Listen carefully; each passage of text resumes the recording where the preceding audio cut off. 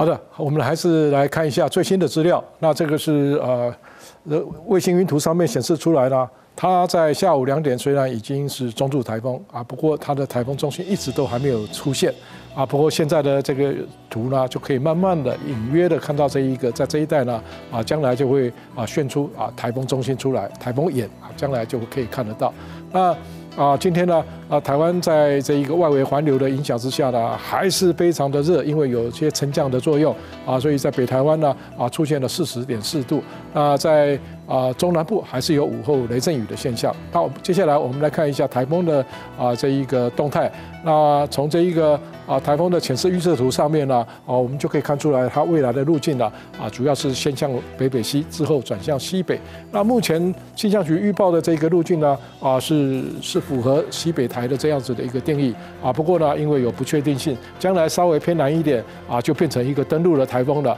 啊，以它目前在台湾附近的这一个啊强度呢，已经达到中台的上限，所以它的威胁呢啊是非常大的。不管是西北台或者是登陆的台风啊，都同样的啊要加强的戒备。那我们来看一下啊，以目前如果是西北台，就是沿着台湾啊这个北海岸啊行进的这样子的台风的话，在明天还在啊外围的外围啊，所以呃只是一些东北风可能会带来迎风面的啊这个降雨。啊，不过到了晚上啊，这个降雨就会越来越明显了。那另外呢，在西半部还是很晴朗啊，不过在午后还是有一些雷阵雨的这个啊情形。那到了礼拜三、礼拜四的话，就特别要注意了，因为台风环流进来了，又。又是一个中台上线的台风，所以对各地的威胁都很大。台风中心啊附近的这一个强风，以及整个啊包括外围环流所带进来的这个豪雨啦，我们可以看到雨量相当的大，影响的范围也很多。只有在花东的这个这个地方呢，因为啊中央山脉的屏障，反而是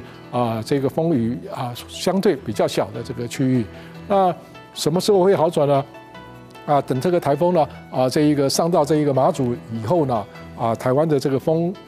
这个台风警报呢，就会依序的来解除了啊。不过呢，因为中南部呢还有这个啊一些西南风啊，会带来不稳定的大气，所以还是会有一些啊这个好雨、局部好雨的这个现象，在周五的时候啊，即使啊解除警报了，还会还要继续的注意。那我们来看一下，在啊这个整个时区上来讲，在明天来讲，就是北部东半部开始会有一些降雨啊。不过呢。越晚啊，北部东半、东北部的雨啊就会比较明显，中南部还是属于午后的这个对流。周三四啊是影响最大的一段时间了，啊，全台都要防强风豪雨，啊是会致灾的啊，一定要特别的注意。那在周五的话啊，台风虽然啊这个已经通过了这个马祖警报，也逐逐渐的这个解解除掉了，中南部还会有一些啊这个。啊，局部豪雨的这个现象还持续要注意。以上是最新的这个资料。